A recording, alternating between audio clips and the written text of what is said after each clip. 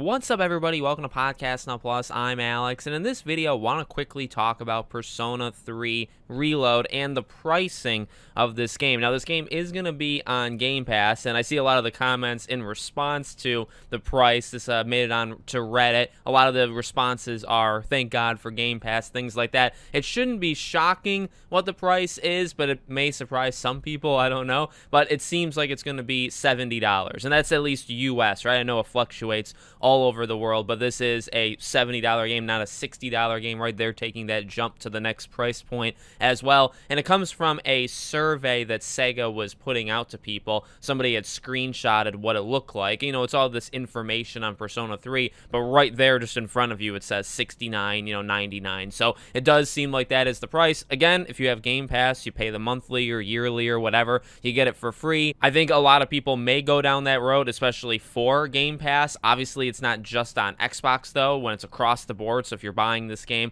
anywhere but, I guess, the Xbox ecosystem, you are going to have to be obviously buying it full price, and it will be the $70 full price, not the $60 full price. So let me know what you guys think in the comments. Make sure you're subscribed, bell icon turned on, and I hope to see you all on the next one.